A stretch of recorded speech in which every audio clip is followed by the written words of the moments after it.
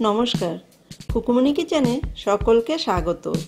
আজকে আমি তৈরি করে দেখাবো অনুষ্ঠান বাড়ির মতো কাঁচা আমের চাটনি। বানানো ভীষণই সহজ আর খেতেও অসাধারণ হয়।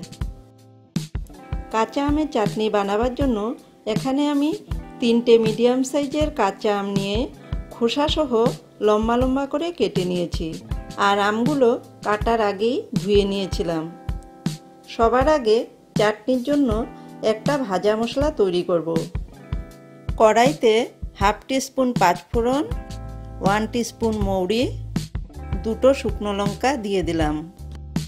এবার লো ফ্লেমে রেখে মশলাটাকে ভেজে নেব। ভাজা মশলাটা যেন পুড়ে না যায়, সেদিকে খেয়াল রাখতে হবে। মশলা পুড়ে গেলে চাটনির স্বাদ নষ্ট হয়ে যাবে। আমি লো ফ্লেমে তিন মিনিট মশলাটাকে ভেজে নিয়েছি। মশলা থেকে সুন্দর একটা গন্ধ বেরিয়েছে। এবার এটাকে একটা প্লেটে নামিয়ে নিব। অল্প একটু ঠান্ডা হওয়ার পর মিক্সিং জারে নিয়ে নিচ্ছি।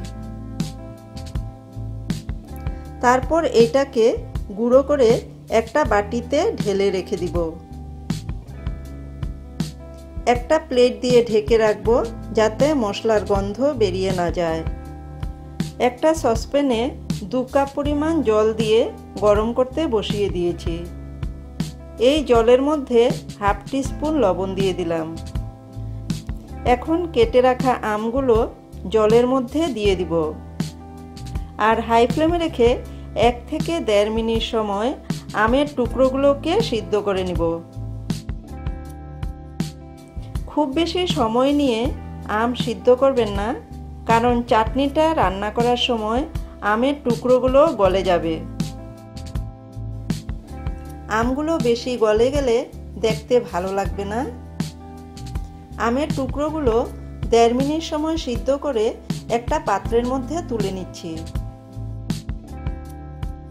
কড়াইতে টু স্পুন সর্ষের তেল দিলাম। দিয়ে দিলাম দুটো শুকনো লঙ্কা, হাফ টিস্পুন পাঁচ ফোড়ন। লো টু মিডিয়াম ফ্লেমে আট থেকে দশ সেকেন্ড ফোড়নটাকে ভেজে নিব।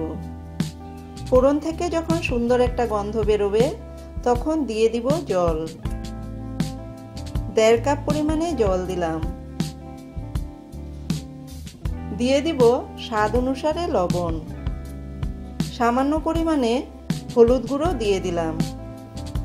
দিলাম চায়ের কাপে এক কাপ চিনি। মিষ্টিটা আপনারা আপনাদের ইচ্ছে মতো বাড়িয়ে বা কমিয়ে দিতে পারেন।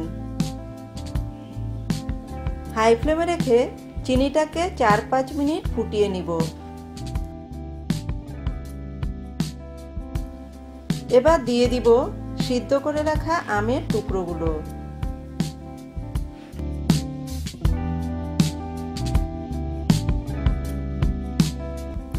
তিন চার মিনিট সময় নিয়ে মিডিয়াম টু হাই ফ্লেমে রেখে আমের টুকরোগুলো সিদ্ধ করে নিব, যাতে মিষ্টিটা আমের মধ্যে ভালোভাবে ঢুকে যায়।